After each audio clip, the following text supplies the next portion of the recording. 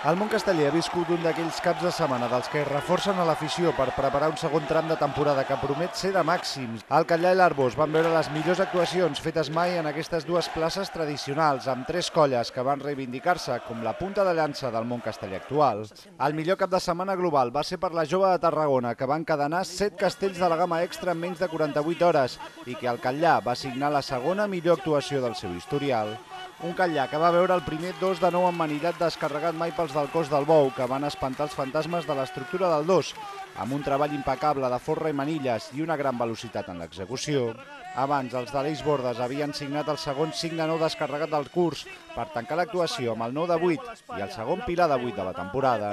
La jove no va aixecar el peu de l'accelerador a l'Arbós, repetint tant el 5 de 9 com el 9 de 8 a les dues primeres rondes. Després de descarregar l'únic castell 9 de gamma extra a la tercera, en forma de 4 de 9, van tornar a encarar un pilar de 8 que aquest cop només van poder carregar.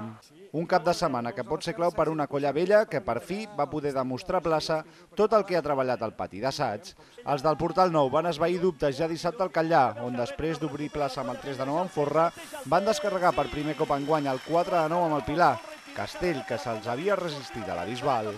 A la tercera ronda van tornar a demostrar el seu domini amb el 5 de 9 per tancar l'actuació amb el Pilar de 7. Una actuació que van calcar el dia següent a l'Arbós, tot i que amb un canvi d'ordre ja pensant en Sant Fèlix i atacant ja en primera ronda el 4 de 9 amb el Pilar, que van tornar a descarregar amb solvència. Una vella que també va tornar a completar el 5 de 9 i que encara Sant Fèlix amb ànims renovats.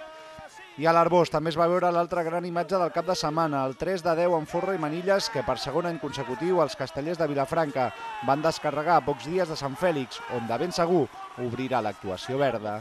El van acompanyar d'un esplèndid 2 de 9 emmanillat, però a la tercera ronda els dubtes amb els castells amb el Pilar van tornar a aparèixer, deixant el 4 de 9 amb l'agulla en intent. El dia anterior els vilafranquins van descarregar el millor castell que es va veure al Catllà, el 3 de 9 amb l'agulla, el que van acompanyar del 2 de 9 emmanillat, el 4 de 9 amb forra i el Pilar de 7.